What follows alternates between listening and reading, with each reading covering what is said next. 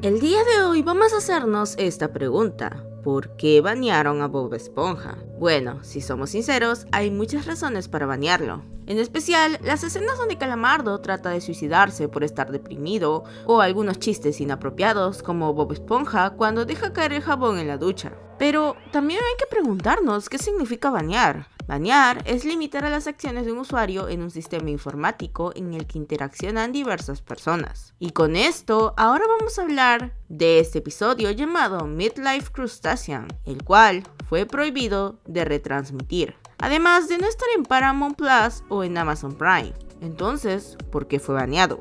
Antes de comenzar con el video, no olvides dejar un me gusta, suscribirte a este canal y dejar tu comentario en este video. Y ahora sí, sin más, comencemos.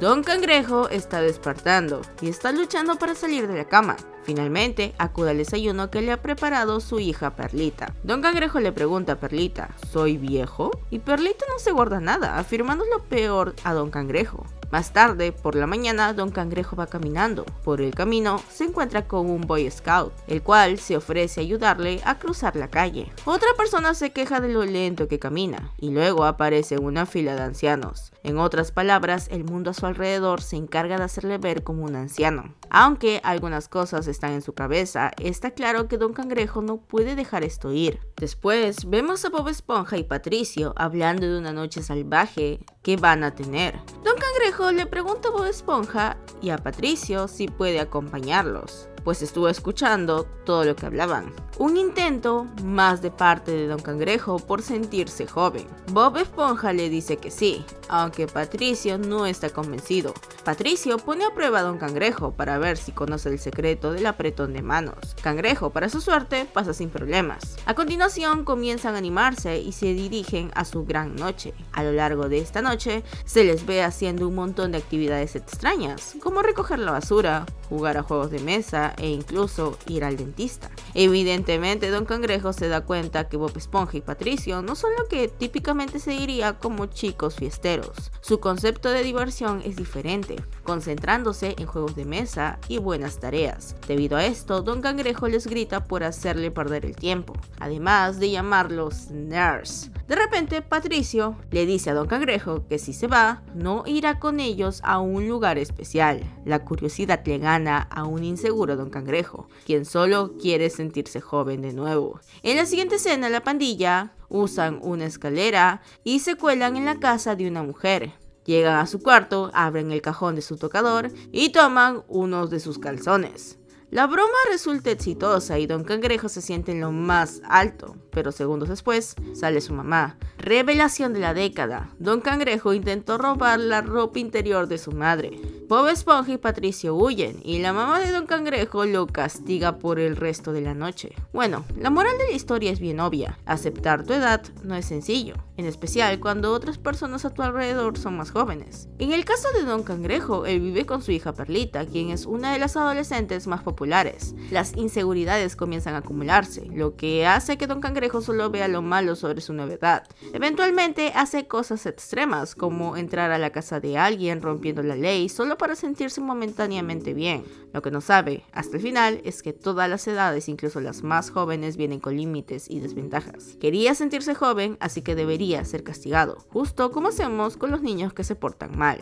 Tal vez un final feliz. Mm, no necesariamente. El 27 de marzo del 2021 se prohibió la reemisión de este episodio en la televisión estadounidense, porque para los ejecutivos era demasiado inapropiado para los niños.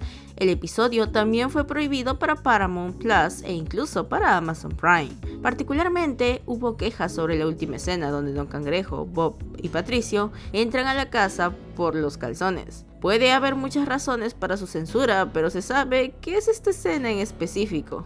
Una razón es que los niños puedan replicar lo que ven. Es una broma, pero con el propósito de remarcar la moral de la historia, pero quizás tenían miedo de que los niños no lo vean de esa forma. También puede ser que la mención de la ropa interior sea lo realmente inapropiado, aunque pudieron haberlo cambiado por algo más. Prohibirlo se siente un poco excesivo. Se siente como si hubieran prohibido este episodio para dar una señal virtual a las ocho personas a las que realmente les importaba y se quejaban. Y es que no está tan exagerado. Yo vi este episodio de niña y no me pasó absolutamente nada. No sé si es la nueva generación que está como que ofendida por muchas cosas o por cosas mínimas, pero mejor díganmelo ustedes en los comentarios. La respuesta oficial del portavoz de Nickelodeon fue, determinamos que algunos elementos de la historia no eran apropiados para los niños. Nickelodeon ha aclarado que este capítulo lleva sin emitirse desde el año 2018 aplicando la medida a las plataformas que sí lo incluyen. Solo ha habido dos episodios de Bob Esponja los cuales han sido baneados,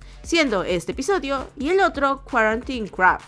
Y bueno, este otro capítulo es sobre un virus, así que se entiende de inmediato por qué lo sacaron. Aunque en este caso el capítulo fue modificado para su versión en DVD, Mientras tanto, los de Nickelodeon tenían sus propios momentos inapropiados, de lo que nunca hablan. Snyder y todos sus ejecutivos detrás permitieron escenas raras y claramente incómodas con actores menores de edad en sus series live action, como por ejemplo en el set de iCarly, Victorious, etc., lo cual ya ha sido confirmado hace unas semanas. Sí, eso lo dejan pasar, pero al pobre Don Cangrejo que sostiene la ropa interior por unos segundos ya es baneado completamente. Eso sí que es inaceptable para los ejecutivos de Nickelodeon. Pero bueno, esto queda ahora entre nosotros y quiero saber sus opiniones. ¿Ustedes qué creen? ¿Debió ser baneado? Déjame todo lo que piensas y no olvides suscribirte a este hermoso canal llamado Sonatiza, donde estamos subiendo videos a diario y de diversos temas de animación. Y por cierto, no olvides seguirme en mis redes sociales y también en mi página de Facebook de Sonatiza Replay, donde estoy subiendo algunos videos más de Sonatiza, y también en mi página de Facebook Fanny La Furra, donde estoy haciendo live action cada vez que puedo. Y ahora sí, sin más, yo he sido Dani y nos vemos en un próximo video. Bye bye.